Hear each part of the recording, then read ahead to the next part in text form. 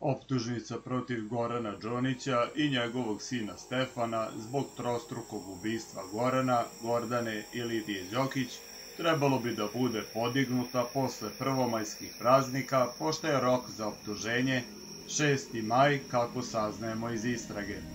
Veliko poštovanje, dobrodošli na kanal Srbija Info. Viši sud u Nišu advokatima Filipu Domazetu i Biljani Pešić, koji zastupaju Đoniće, poslaje dokument u kome se odbija puštanje iz pritvora Gorana i Stefana, a Pešićeva koja brani bivšeg vatrogasca, kaže da njen klijent i dalje tvrdi da nije učestvovao u ubistvu svojih rođaka, već da ih je samo pratio i bio svedok likvidacije. Goran Đonić stoji pri stavu da nije pucao u tročlanu porodicu, već da mu je dat telefon kojim bi javljao njihovo kretanje. U nekoliko navrata poručio je da sinovi Milan i Stefan apsolutno ništa nisu krivi i da nisu znali ništa o tome.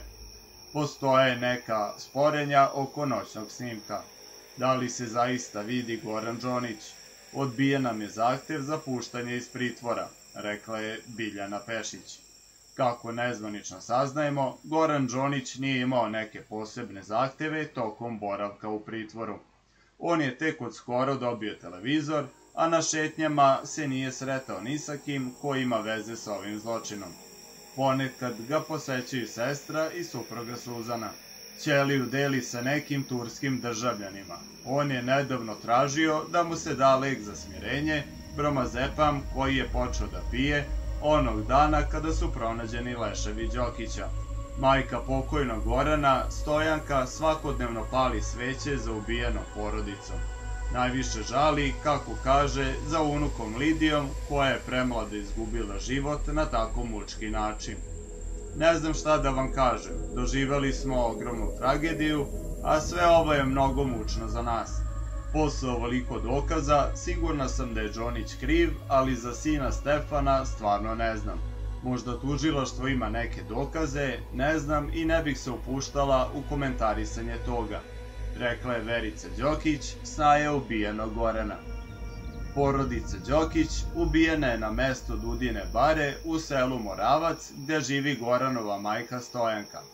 Oni su dan pre zločina posetili baka Stojanku na ručku, a za Aleksinac su krenuli oko ponoći. Upravo tu, u Moravcu, izgubio im se svaki trag.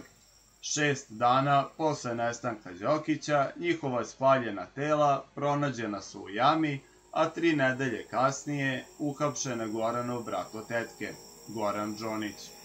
Na imanju Stefana Đonića, Goranovog sina, pronađen je zakopan novac, a Đonić je hladnokrvno policajcima rekao da je te pare možda sakrio njegov sin. Lisice na ruke stavljene su Stefanu i Milanu Đoniću, ali i braći Aleksandru i Kostadinu Miloševiću, koje je Đonić takođe umešao u zločin. Miloševići i Milan pušteni su iz pritvora, podsjeća izvor. Đonić, uprkos tome što su na pištolju koji je pronađen u kući njegove supruge, otkriveni DNK tragovi njega i Lidije Đokić koja se branila, tvrdi da on nije pucao u rođake. DNK profil Gorana Đonića pronađen je i na novcu.